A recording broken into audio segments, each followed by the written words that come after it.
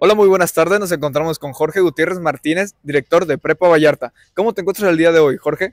Hola, Héctor. Pues muy bien, muy contento de venir aquí a Colima. Es un campus en el que yo estuve y lo quiero mucho. Y venir con mis alumnos de Vallarta, pues me, me ilusiona mucho estar con ellos aquí. Y gracias por su hospitalidad. Claro que sí, nos da muchísimo gusto tenerlos a- aquí a todos ustedes. Y justamente quería preguntar un poco sobre eso.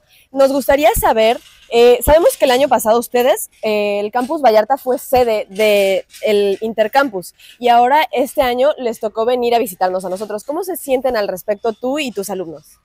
Pues es una experiencia muy diferente, Mariana, que ustedes han estado viviendo ahorita, porque ser el, anfitrión te representa un trabajo diferente.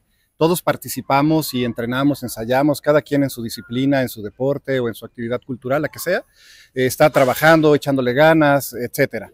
Pero cuando eres anfitrión, además de todo eso, pues tienes que estar dedicado a, organizar todo lo que ustedes saben, ¿no? Encontrar a jurados, a- alimentos, eh, pues hoteles, etcétera.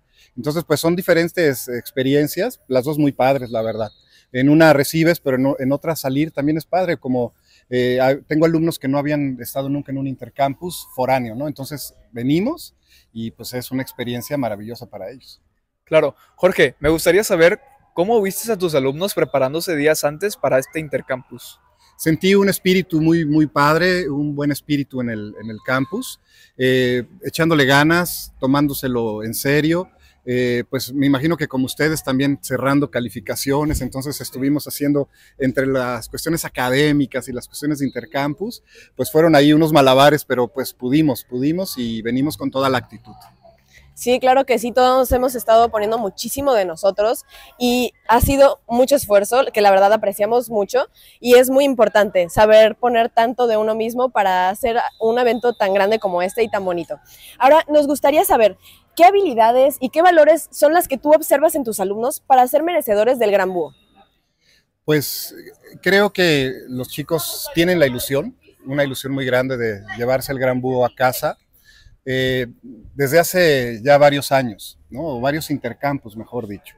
Y creo que es una actitud de, de, pues de gente que quiere ser pues, buen alumno, buen, buen estudiante y buena persona.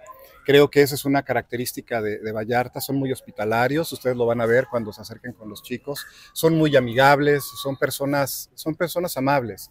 Entonces creo que por eso y pues también dependerá de ellos que puedan ganar este premio, ¿no? Y me encantaría que lo hicieran.